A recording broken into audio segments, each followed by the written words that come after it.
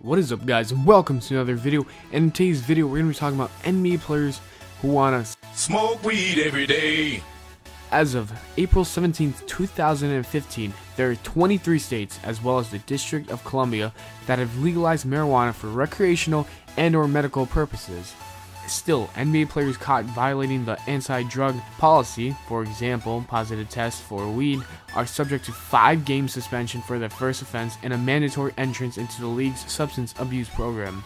According to TMZ Sports, players not only want to see the rule change, but they want the league to legalize the use of medical marijuana. On the heels of KD leaving an LA club last week having what looked like a medical marijuana fallout out of his SUV, TMZ Sports approached 10 active NBA players who wanted to remain anonymous and asked them if, they, if the league should allow them to use weed. If they have a legitimate prescription from a doctor, they all said yes. One player said, How can you tell a guy with a prescription not to use it? They should be allowed to have medicine. Another said, The NBA shouldn't advertise for it, but I don't see an issue if a player uses it. With the subscription, obviously. I don't even know if I should agree on this because I think I actually do. These NBA players go through a lot of pain every day.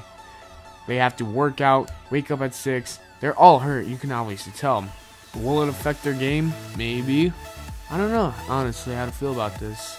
Leave your opinions, guys, in the comments below.